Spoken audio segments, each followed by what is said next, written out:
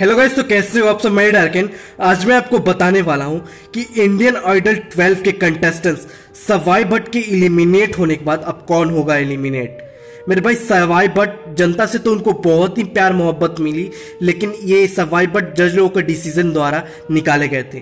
तो अब गाइस अब क्वेश्चन ये बनता है कि इस हफ़्ते मतलब कि अब कौन होगा इलिमिनेट मेरे भाई, हमने क्वेश्चन पूछा सारे जनता लोगों से।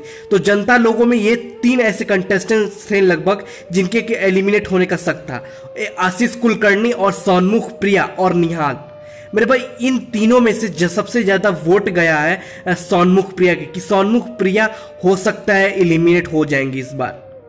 मेरे भाई, इसके बारे में आपको क्या कहना है? क्योंकि भाई, सोनमुख प्रिया भी बहुत ही बेस्ट सिंगर है। और इनको भी जनता से बहुत सारा वोटिंग मिला है। लेकिन मेरे भाई वो कहते हैं ना कि वोटिंग जनता के जो मिला है, उसको वो मायने नहीं रखता। ये जज लोगों के ऊपर डिसीज़न है कि कौन किसको एलिमिनेट करेंगे। सो गाइस आपको क्या लगता है कि कौन हो सकता है एलिमिनेट निहाल, सोनमुख, प्रिया, सायली, पवनदीप और अनिता, इन सब सातों में से कौन होगा एलिमिनेट मेरे भाई, आपको क्या कहना है?